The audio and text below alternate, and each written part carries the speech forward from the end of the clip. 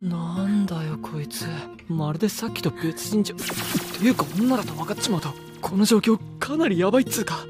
こんな暗がりで息遣いまで聞こえてくるし。なんか体に柔らかい感触が。動揺するな。冷静になれほれそうだ。小野寺のことを考えよう。へえ小野寺小野寺小野寺小野寺小野寺小野寺小野寺小野寺小野寺死ねほれで、たくまくん大丈夫？気分とか悪くない？はい。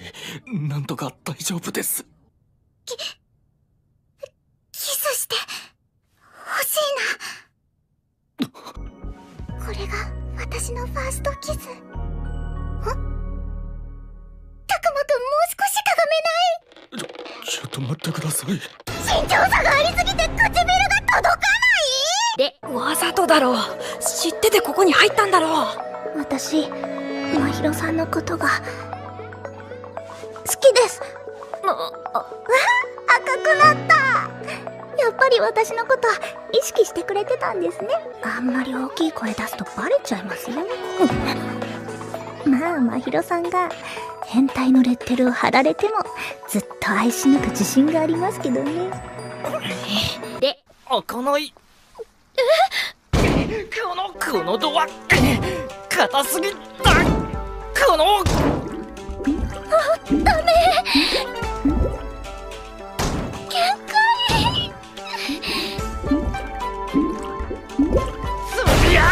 うわ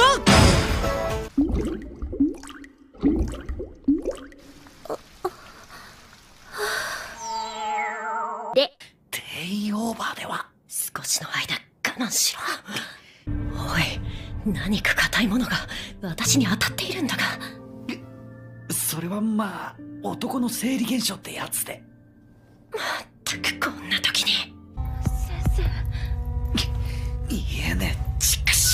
何をやってやがる。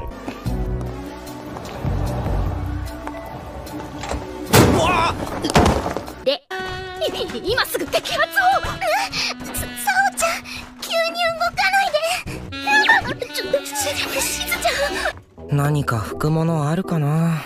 これじゃあいつも通り。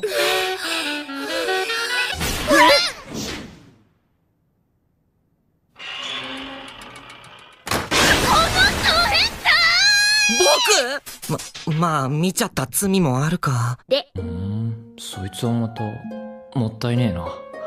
せっかく可愛いのに。バカを言え。私が可愛いなどと。